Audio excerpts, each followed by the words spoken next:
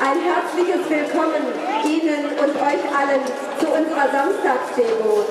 Mein Name ist Angelika Link. Ich freue mich, heute durch unser Programm zu führen.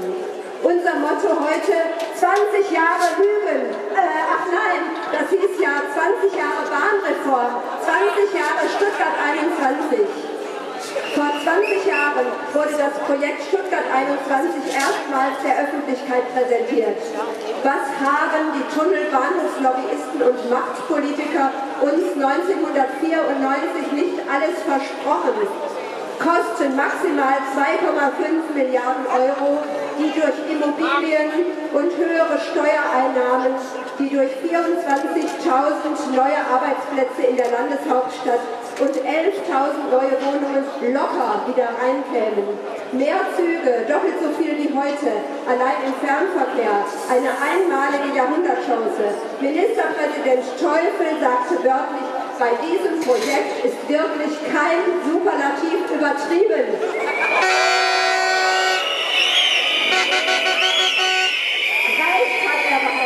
Recht hat er behalten, mit völlig anderen Vorzeichen.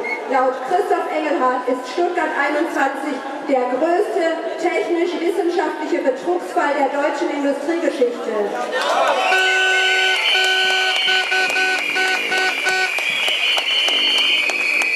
Und was haben wir in diesen 20 Jahren erlebt? Mehr als 1000 Bahnhöfe und Schalter wurden geschlossen. Abbau von Weichen- und Überholgleisen, da hat Robin Hood ein Plakat aufgehängt. Mehr als 7000 Kilometer Schienen wurden stillgelegt. Einen beispiellosen Arbeitsplatzabbau bei den Bahnbeschäftigten. Die Belegschaft im Schienenbereich wurde halbiert. Mainz lässt grüßen. Die Güterbahn ist auf Schrumpfkurs und trotz dieser Verschlechterungen für uns kriegen wir jedes Jahr höhere Fahrpreise. Liebe Freundinnen und Freunde,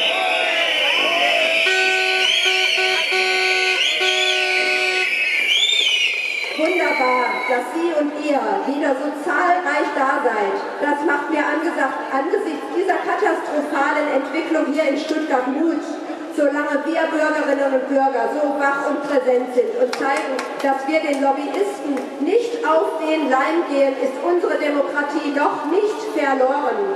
Unsere Bewegung zeigt, dass wir uns interessieren und einmischen. Wir werden Stuttgart 21 stoppen, wir geben nicht auf und machen weiter.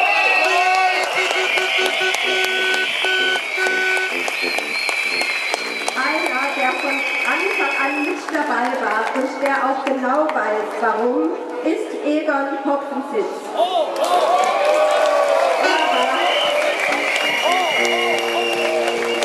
Egon Hopfensitz war von 1981 bis zu seiner Pensionierung 1994 Leiter des Stuttgarter Hauptbahnhofs und kennt den Stuttgarter Hauptbahnhof besser als jeder andere. Und heute ist er wieder hier. Begrüßen Sie mit mir Egon Hopfensitz.